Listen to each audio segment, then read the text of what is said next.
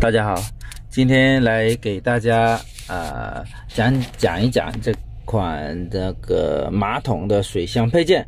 呃，它这种呢有个最好一个有一个功能呢，就是感应冲水功能。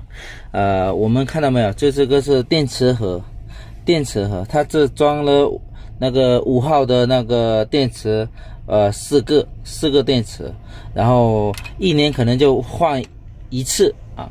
这个呃那个比较耐用，买好一点的，嗯，然后它是一个感应点在这里，啊，这是一个按钮，四点八四四点八厘米的按钮，呃，它还可以就是手动的，如果没有电的时候可以手按去冲水，啊，这个是个感应点，看到没有？这个有红点的是一个感应点，每次。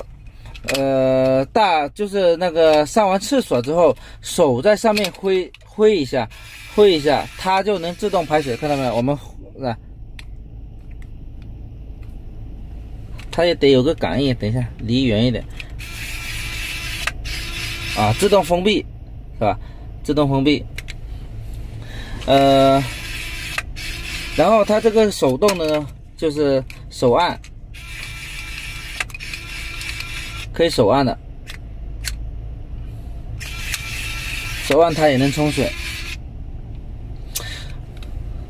呃，它这个是呃高度有二十五厘米的高度，就是竹筒高度有二十五厘米，适合比较那种就是呃连体式的马桶，水箱比较高的中高水箱的马桶。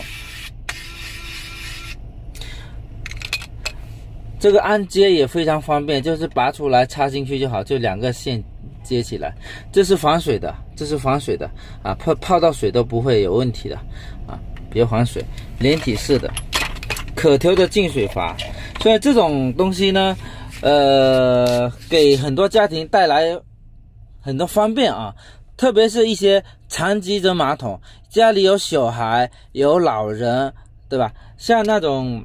嗯，小孩，因为我家有时候也碰到，就是小孩上完厕所他就不冲水啊。其实有这种东西的话，可以感应到的话，你如果是把这个感应器啊，就装在马桶的前面的话，可就它会感应到，它就会自动的冲水啊。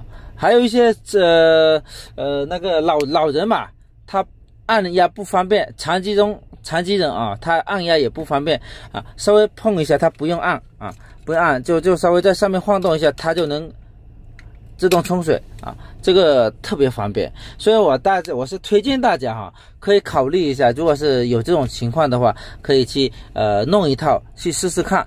嗯，这个也不是很贵啊，这是一套排水器，这是一一整套哈，它只有一个大排的功能，就没有小排了啊，没有那个呃。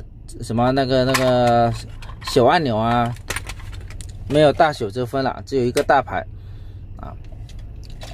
这是可调的净水器啊，四点八的按钮，它配了一条那个按钮杆、推杆啊。行，今天就给大家讲到这里吧。